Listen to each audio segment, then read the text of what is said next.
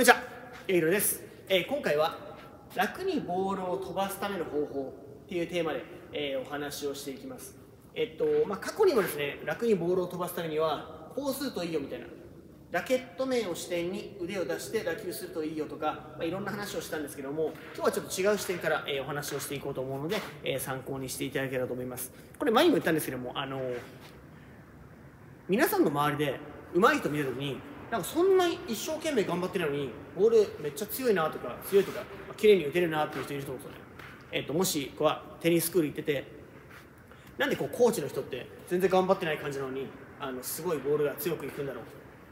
う YouTube で見ててあのプロの選手見たらなんかすごいな。全然力入ってなさそう。だけど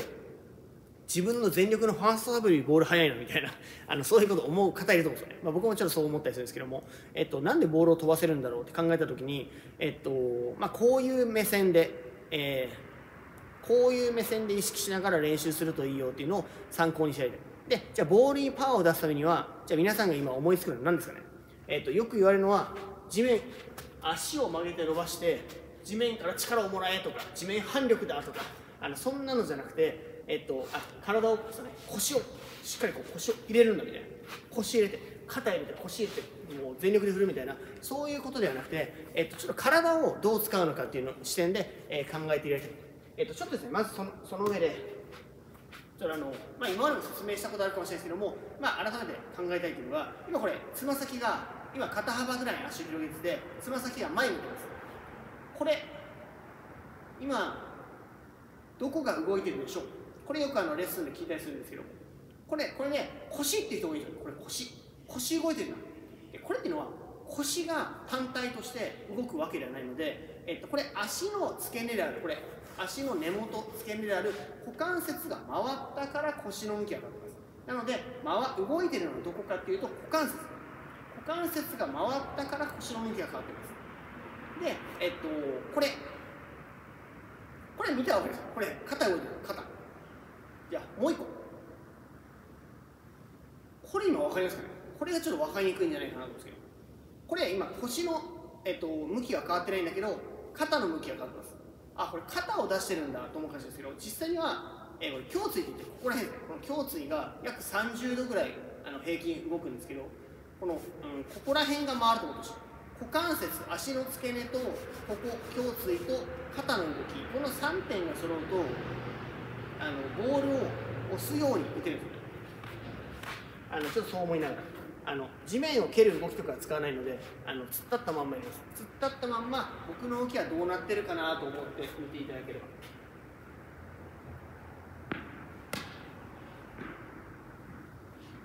もうちょっと大げさに。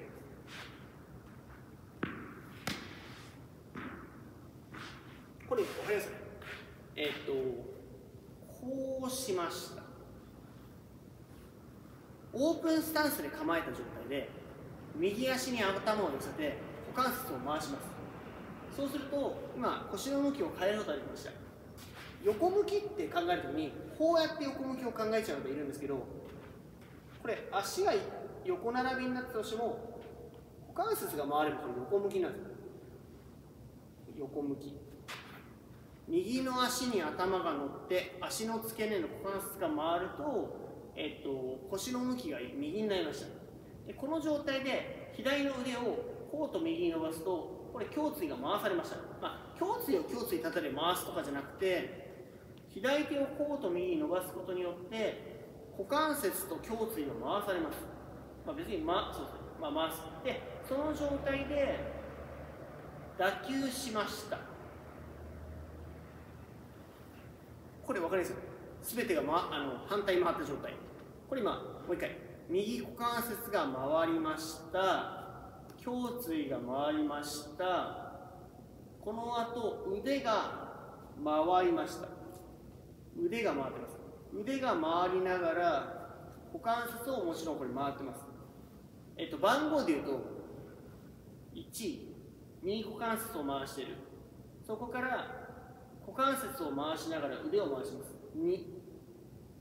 腕振った後このラケットの振った重さによって左の足に頭が動かされます。でそうすると今左足の股関節が回りました。左足の股関節が回って最後まで振ってほしい。ここまで振ってほしいんですけどこれが僕がよく言う左の肘の折れ目にラケットのフレームをタッチさせるような。ここまで振ろうとするとこれ右の肩回ってます右の肩が回って動いた動きと左の股関節が回って胸椎もあるそそうすると、えっとまあ、後ろから見るとこういう感じ。もう一回いきます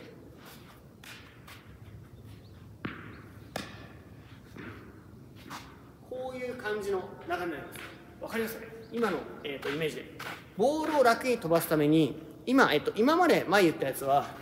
腕の回線を使ってラケットはこう跳ね返ってくるようなこういうラケット面を空間上取り残して腕を出して打球するといいですよって話したんですけどもこれ前言ったやつ。あの足とかの動きちょっと置いといて腕の動きでボールを飛ばす。これでも楽に飛ばせますよ。って話なんですけどもこの動きにこの動きに今言った股関節胸椎動きが股関節胸椎肩の動きがもう全部全部付け足すとより楽にボールを飛ばせるよっていうようなイメージ。まあ、ちょっとここに関してはね、まあ、まだまだまだ細かくちょっと説明 説明しないところあるんですけどもあのそういう意識で、えー、練習ができればいいと思うのでまずは自分の体をどういうふうに動かしてるのかなっていうのを、えー、考えながらですね練習できればと思います。よくあの、まあ、よく言われる良くない良くない、うん、言い訳というかあの人それぞれあの体の作りが違うからあの人それぞれ体の作りが違うしプロの選手もいろんな打ち方あるから打ち方っていうのはそんなこう考えなくていいんじゃないかなと思う方もいると思うんですけどもあの基本的にあのもう骨組み骨組みというか作り方あの筋力の違いとか可動域とか柔らかさとかあの大きさとかあの違うとかあるかもしれないですけど基本一緒なんですよ基本一緒っていうのはどういうことかというと例えばですけどこうじゃああの僕はこうやって指をこう曲げることはできるんだけどあの違う人がこの指を反対側にしか曲がらないみたいになったらあの教えれないですよね。肘がこう僕は曲がるんだけどあの違う人はこっちにこっちに肘曲げれるなとかいう人がいたら教えれない。だけどそういうの一緒ですよ。ね僕は股関節回るんだけど他の人は膝が回るんだみたいなそんな人あのちょっといたらちょっと教えられないんですけど基本的にはそういうのは一緒だと思うんですよ。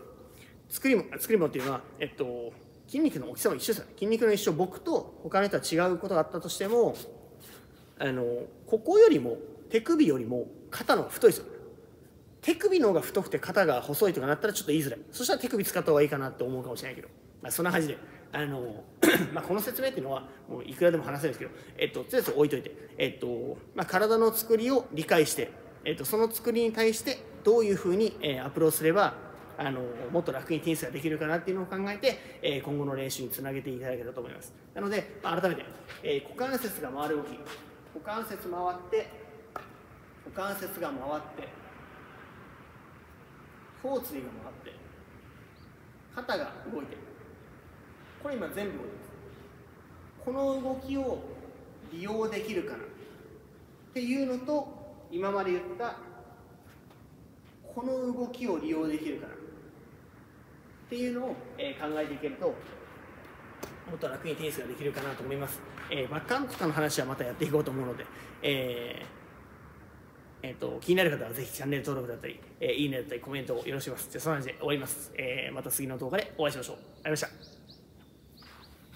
あなたのテニスがより早く効率よくレベルアップできるようにと思い、えー、オンラインレッスンを立ち上げました。えー、今ですね、毎月、えっ、ー、と、いろんな県から、えー、福岡の方にレッスンに来ていただいている方が、えー、たくさんいます。で、えっと、そういう方はですね、どうしても、あの、予定を組んで、福岡まで来て、えー、レッスンをしてっていう、あの、時間とお金がすごくかかるんですよね。なんで、そういう方を救えたらと思って、えー、始めました。今、えっと、全国には、あの、たくさん、あの、悩んでる方がいます。テニスもっと早く上達できないかな、今自分はどういう状態なのかなっていう方たくさんいるんで、えー、そういう方を救いたいと思って、えー、作ったので、気になる方は、うん、詳細はですね、えっ、と、概要欄に載せてるので、えー、ぜひ見ていただければと思います。ざっくり言うと、えっと、フォアハンドならフォアハンド、バックハンドならバックハンド、まあ、サーブならサーブ、なんでもいいですけど、えっと、一つのショットを僕に動画で送っていただいて、えっと、課題を伝えます。で、課題を伝えて改善するためには、あの、どうしたらいいのか、練習方法などでも、えー、お伝えしていこうと思っているので、まあそういう形を、えー、とっています。本気で上手くなりたい。もう自分は、あの、これ以上レベルアップできないかなとか、自分一人でどうやったらレベルアップすればいいんだっていうのが、えー、わかんない方たくさんいると思うんで、えっ、ー、と、そういう方を救えればと思います。はい。そんな感じで、えー、気になる方は、えー、僕にご連絡ください。以上です。ありがとうございました。